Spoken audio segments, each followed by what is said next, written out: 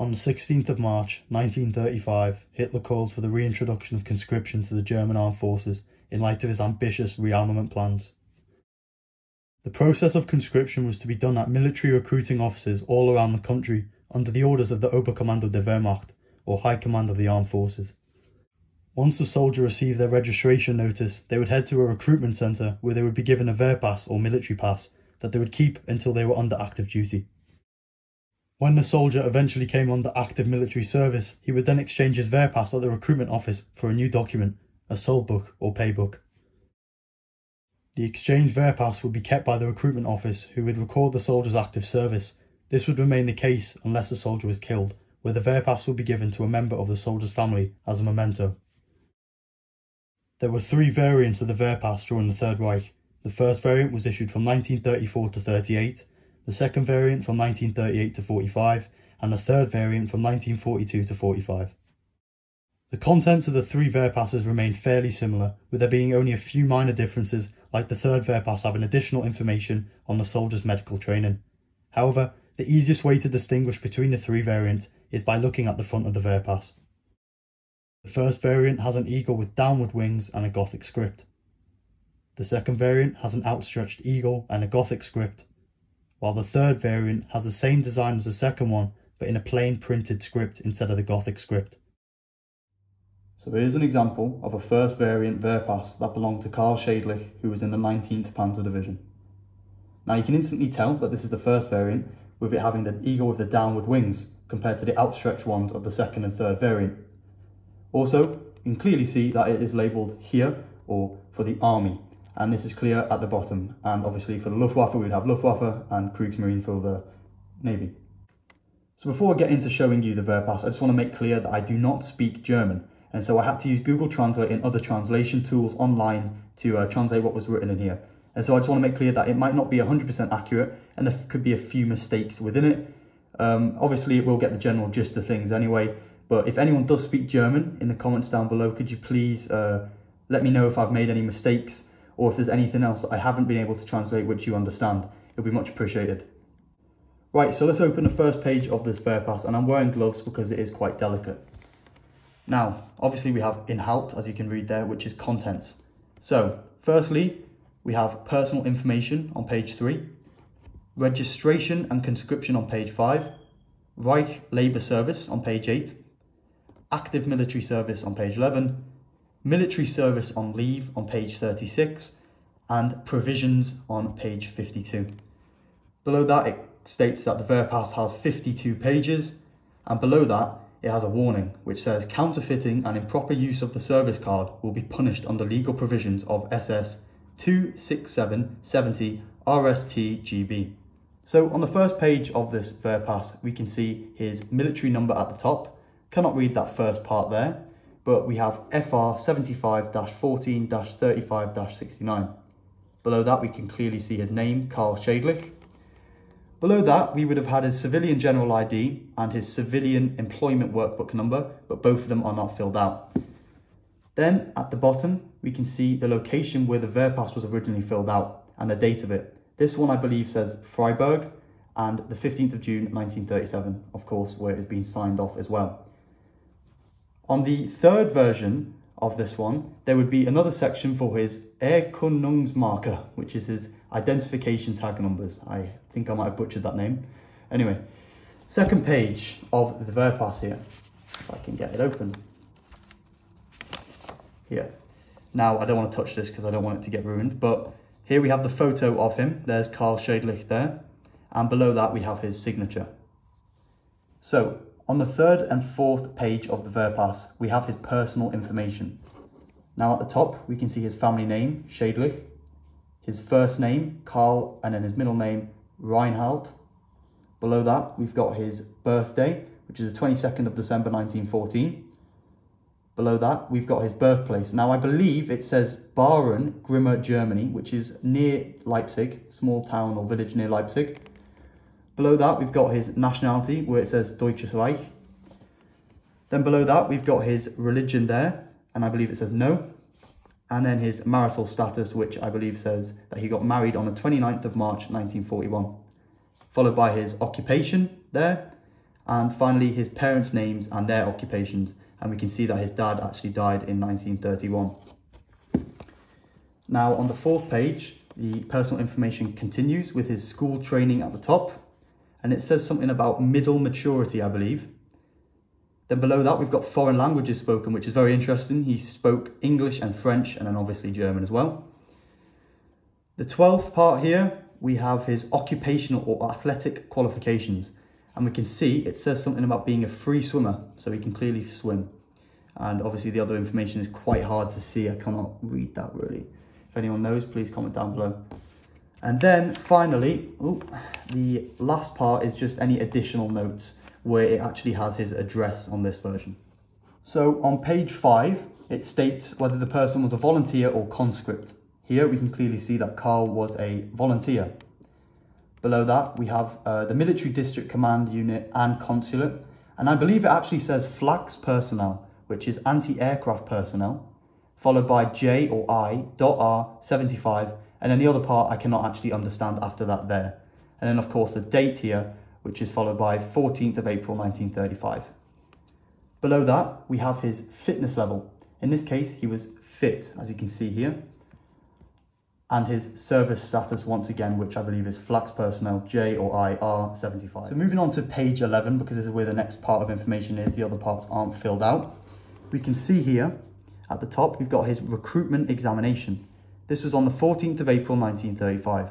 This is followed by his medical verdict, which is fit, then the recruitment day, which is the 1st of November 1935, as well as his posting after that, which once again is what I believe is anti-aircraft personnel uh, 75, and the other part I cannot understand, as I said before. Below that, it says something like service time counts, which is 1st of November 1935. I believe that's when his service will begin. And then at the bottom, it says that he was sworn in on the 7th of November 1935. So moving on to page 12, now from page 12 to 15, it includes a list of the person's active service in either the Heer, Army or Luftwaffe Air Force. It lists his unit, date and roster number. So as we can see here, these are a list of his affiliation with army agencies and he had four, which you can clearly read here. Quite hard to understand, but we can see the dates uh, from, until, uh, and we can see the numbers and list at the end. So moving on to page 20 of the Wehrpass here we can see that it includes the information on the training that a soldier received for certain weapons. Now here we can see that Karl received training on the Karabiner 98K or Kar 98K, the Pistola 08 or Luger, and the Stielhandgranate or hand grenade. On page 21, we can see that we have some special military schools that he attended, which is quite hard to understand, and so I can't translate that. If anyone knows, please comment down below. And then on the third version of the Wehrpass, there would be another section on the bottom of page 20 that would include an additional skill section.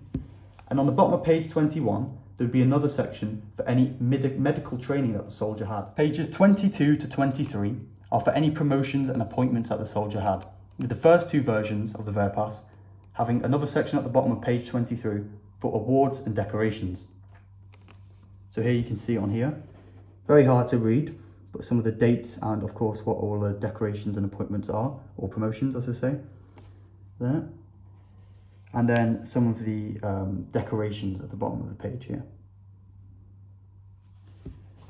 Now, moving on to page 24. This contains the soldier's date of discharge and other details like his final rank and location of release.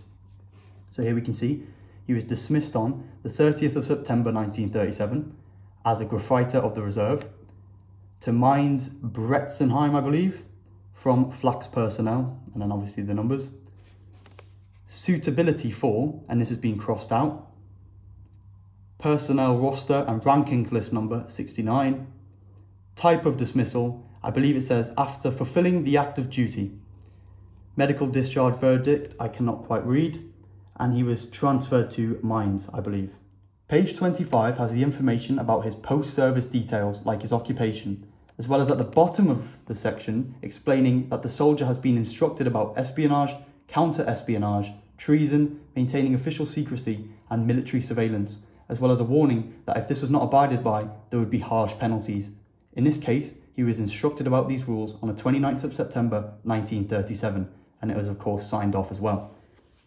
Then from pages 26 to 27, there are some additional notes pages, as you can read here. Very hard to understand, but there's some additional notes. Now, for what I believe is the most interesting two pages in the whole book, we have pages 32 to 33, in which the first two versions of the Wehrpass list the battles and campaigns that the soldier was part of. Now this is shown with a day, month and year, as well as the location, etc. Now, here we can see on page 32 some of the battles and uh, campaigns that Karl took part in. At the top, it has some writing which I can't quite read, however the bottom has been printed and added on, which I can read. Now at the top, the main highlighted parts, we've got use in the Western Front area of operations. Below that, we've got breakthrough battle of the English Channel. Then C, we've got Battle of Flanders and Artois, Artois or something. Then D, at the uh, bottom there, Schlacht in Frankreich. This is Battle in France. E, Occupation in France. And F, Securing the Demarcation Line. Then on page 33, we have the same. Now this one on page 33 seems to be Eastern Front.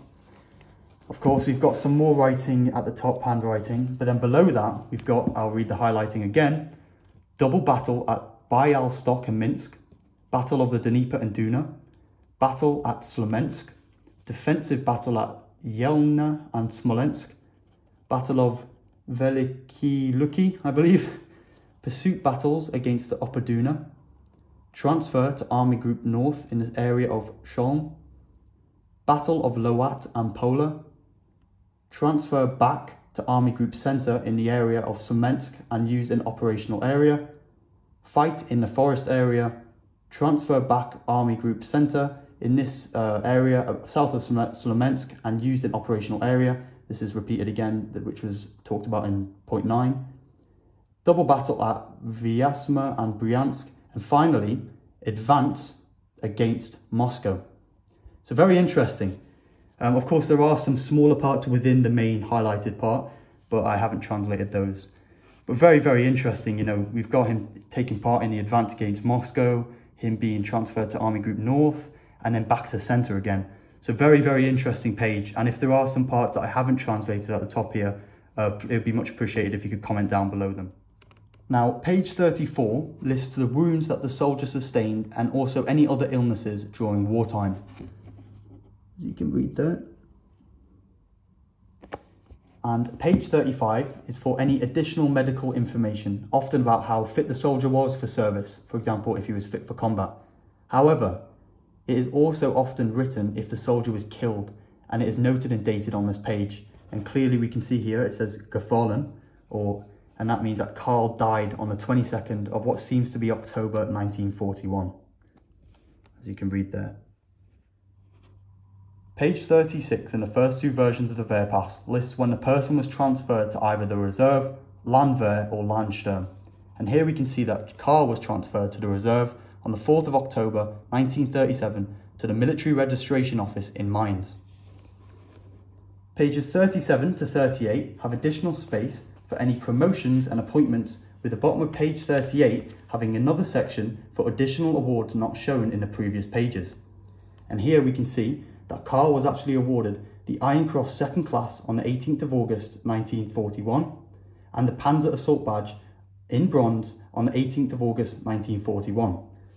Now I actually have his citation for the Panzer Assault Badge in bronze, as you can see here, Unteroffizier Karl Schädlich, his uh, troop unit, and there we can clearly see Panzer Assault Badge in bronze, which was awarded on the 18th of the August 1941 in the field and of course signed off there, clearly showing the 19th Panzer Division.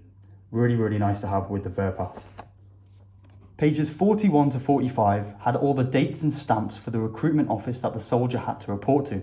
Now we only have one on here on page 41 for Karl, and we can see once again that he had to report to the military registration office in Mainz since the 4th of October 1937.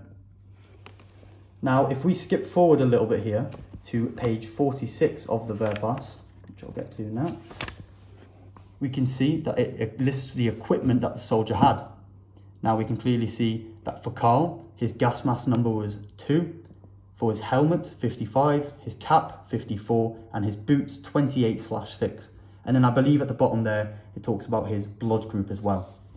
And finally, at the bottom of this page, we just have some room for additional notes if needed. So the last page of the Wehrpass, page 52, essentially just goes through all the provisions about the book, talking about the importance of the pass, who or where the pass can be handed to, and where you shouldn't take the pass, for example. As you can read here, all the provisions about the book. Now, as you can see on the back here at the bottom, we can see that this one was made in Berlin. So thanks a lot for watching the video today. If you did enjoy, please consider liking and subscribing. And also have a look at some of the other videos on my channel as you might find them interesting. Thanks a lot for watching and I'll see you in the next one.